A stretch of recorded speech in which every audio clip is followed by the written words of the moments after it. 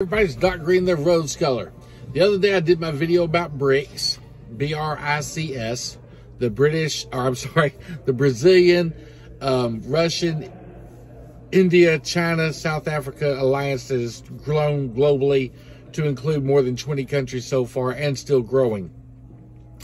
I did a video about that explaining how it affected the trucking industry while it's affecting our freight.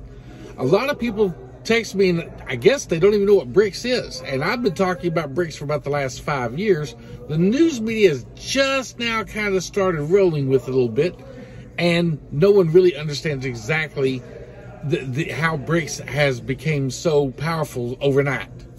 Well, let me start off by saying it has not been overnight. BRICS has been in formation for a little over 10 years. They started off 10 years ago with a plan and have developed it and been rolling with more and more momentum ever since. So a lot of people say, okay, well, what happened and how did, how's the American dollar finally being challenged on the global market? What happened to cause this? Guys, there were several issues. First of all, you have to realize the American dollar was a reserve currency after World War II because we were the ones with the most, the largest economy and able to help build back other nations. However, this, I'm giving you just a rough overview the Cold War kept Russia and America head to head. China really wasn't a player at that time, a major player. As time rolled on, and after Reagan ended the Cold War, um, America's currency still stayed strong. Our military might was considered to be superior in the world and everything. And everyone still depended on America's backing for security and everything for about a good 10 years after the wall came down in the Eastern Berlin Wall came down, the Berlin Wall came down.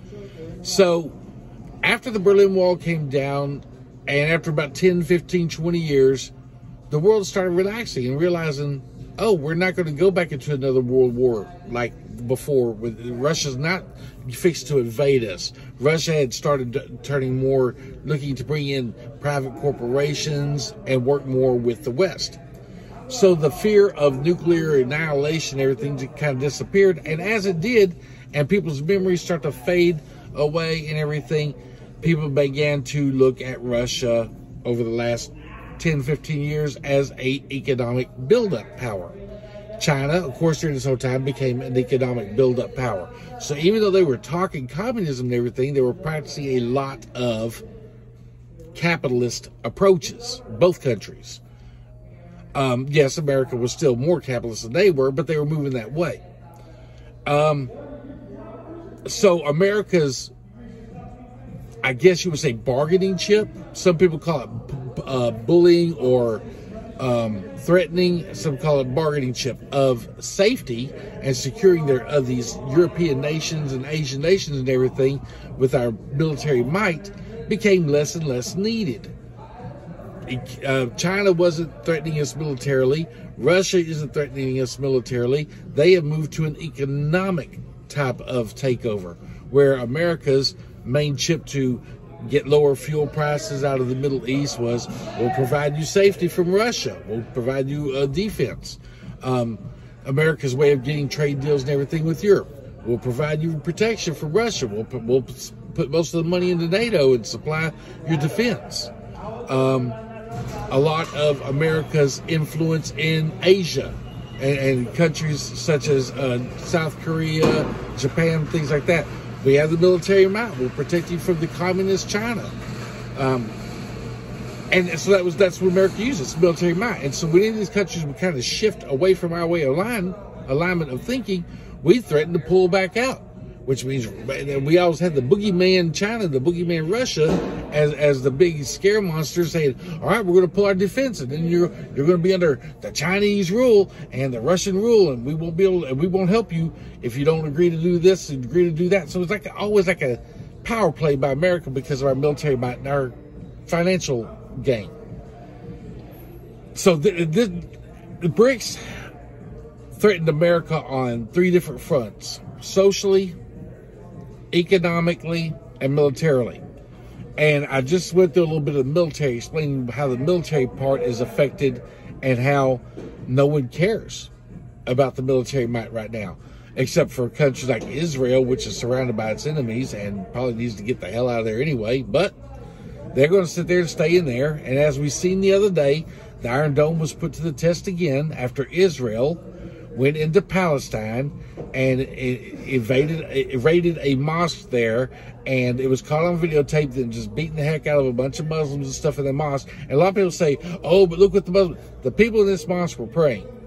When the Israeli troops went in there, grabbed innocent people, accused them of things that, that obviously were not happening, beat the crap out of them, uh, arrested the 360 of them or something. And you know good and well they can't prove that all 360 of those people that one all congregated at one temple and were all terrorists.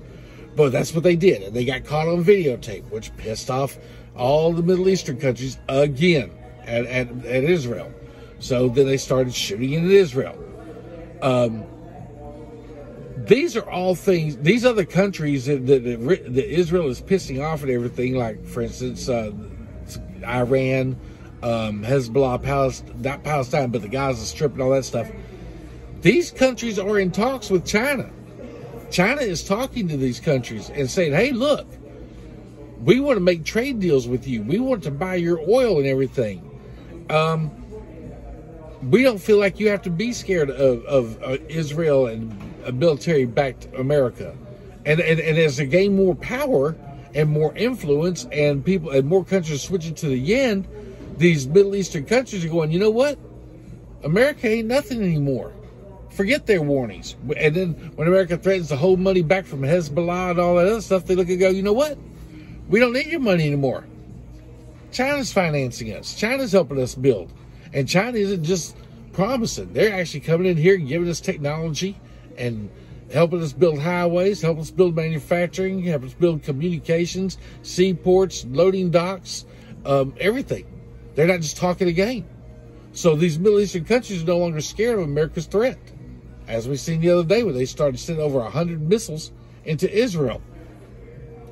Israel um, is in a bad spot.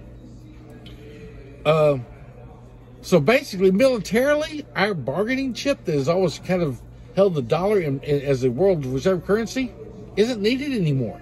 These other countries are not scared of America anymore. They don't care less. You want to go over there, waste your money fighting us and everything? Fine. Like we're, we're sending all that money into Ukraine for Ukraine to fight Russia. And Russia sending a little bit of troops at a time and keeping America sending in billions of dollars at a time.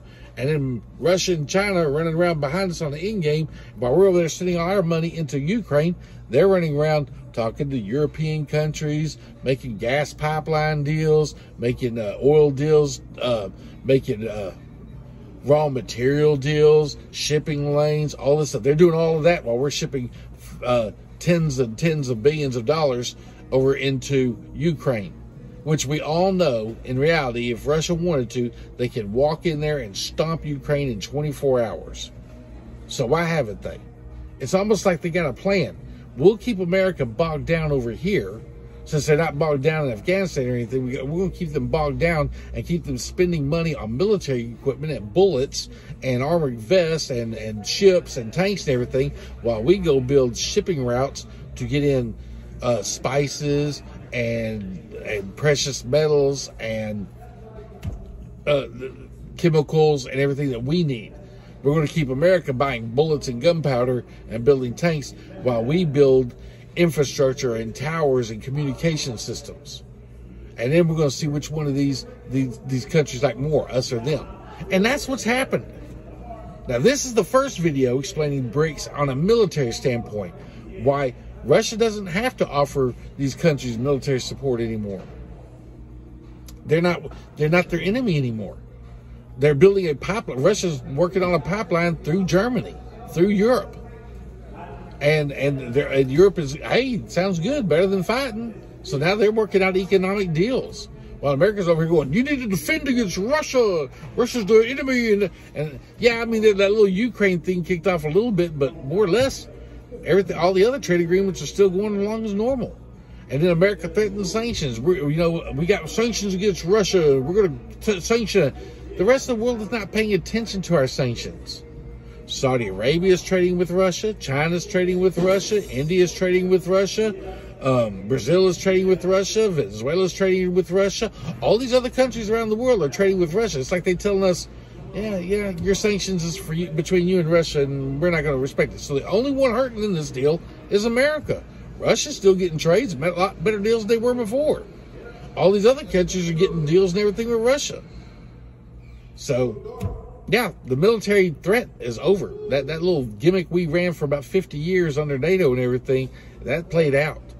And every president since, I'll say since Reagan, after Reagan, no, you know, I would say after uh, Clinton, every president out here should have been aware of the situation and been pulling America away from military and more into a financial thing.